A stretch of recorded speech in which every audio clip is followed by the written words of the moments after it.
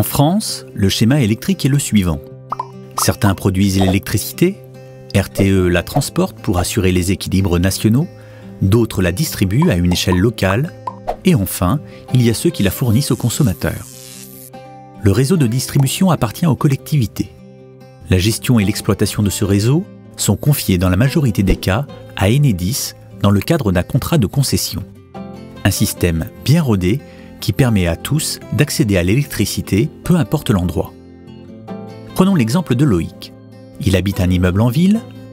Le réseau passe au pied de l'immeuble et alimente tous les occupants.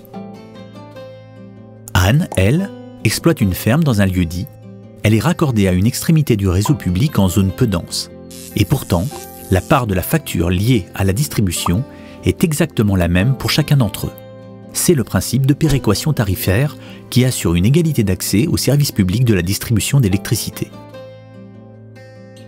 Voyons de plus près comment se compose une facture d'électricité. Les kilowattheures consommés rémunèrent fournisseurs et producteurs, le TURP rémunère le transporteur et le distributeur pour la gestion et l'exploitation du réseau. Dans le dernier tiers, on retrouve plusieurs taxes.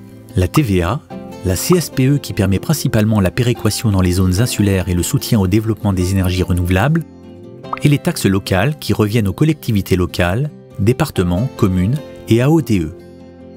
Mais Anne, qui souhaite faire sa part pour la transition énergétique, vient d'installer sur son exploitation des panneaux solaires. Avec d'autres agriculteurs, ils ont également investi dans une station de méthanisation et ont fait installer des éoliennes pour produire une partie de leur énergie et revendre les surplus. Et si on allait plus loin? Et si demain, tous les propriétaires de l'immeuble de Loïc décidaient de faire de même Si on devenait tous producteurs Que se passerait-il pour notre système si bien réglé? Eh bien, l'équilibre du schéma historique de l'électricité risque d'être bousculé. Pour gérer cette nouvelle production diffuse et assurer l'équilibre du réseau, les métiers de l'énergie vont devoir fortement évoluer. Il faudra faire de plus en plus appel aux smart grids, les réseaux intelligents. Si chacun consomme une part de sa propre électricité, que devient la péréquation tarifaire? Faudra-t-il toujours payer l'utilisation du réseau de manière identique ou en fonction de sa façon de l'utiliser? Cela amène des questions essentielles sur le financement du réseau. Quels seront les nouveaux modèles économiques? Comment assurer un financement durable du réseau de distribution publique, infrastructure essentielle pour assurer la complémentarité de toutes ces énergies?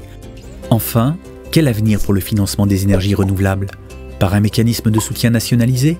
Ou alors en favorisant les circuits courts de l'énergie comme l'autoconsommation La décentralisation du modèle énergétique est une question dont il faut se saisir dès maintenant afin d'anticiper ces nombreux changements et permettre aux territoires de réussir leur transition énergétique.